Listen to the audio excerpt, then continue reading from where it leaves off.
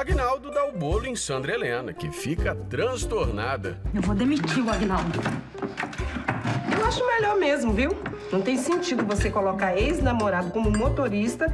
Hoje, Fica tranquila, dona Sandra Helena. Eu vou acabar com seus problemas. Tá aqui, ó, minha carta de demissão. pega, pega.